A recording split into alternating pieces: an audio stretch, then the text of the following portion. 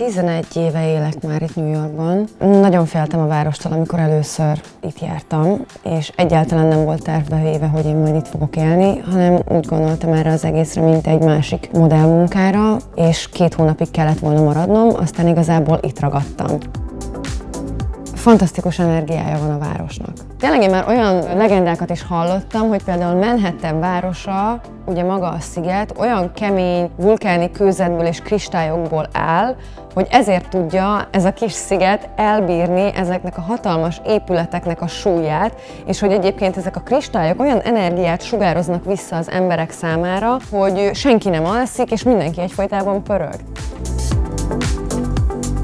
Sokan azt gondolják, hogy a top modelleknek ugye nagyon csillogó az élete, Igazából én azt mondom, hogy az én hétköznapjaim talán még unalmasabbak, mint másé, ugyanis én nem dolgozok minden nap. Így igazából magamat próbálom lefoglalni azokon a napokon, amikor nem reggel 9-től este 8-ig egy stúdióban fotózunk.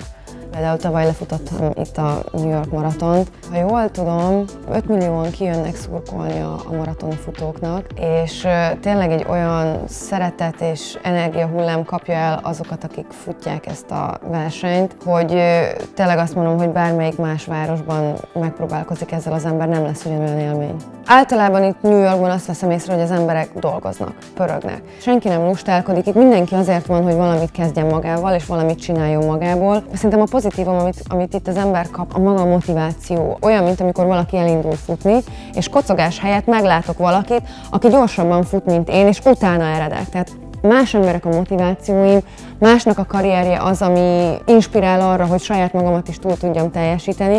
És igazából, amikor az ember neki indul ennek a futamnak, addig, amíg meg nem áll, amíg úgy nem dönt, hogy oké, okay, nekem elég volt, addig szinte nem is érzi, hogy belefáradt. Úgy gondolom, hogy ez a város nagyon megtanított arra, hogy, hogy tudjam magamat értékelni, és egyszerűen ne hagyjam magamat, ne hagyjam azt, hogy más emberek átgyalogoljanak rajtam. Ezt úgy gondolom, hogy soha sehol máshol nem tudtam volna megtanulni, elsajátítani, vagy egyáltalán érezni, hogy ilyen létezik.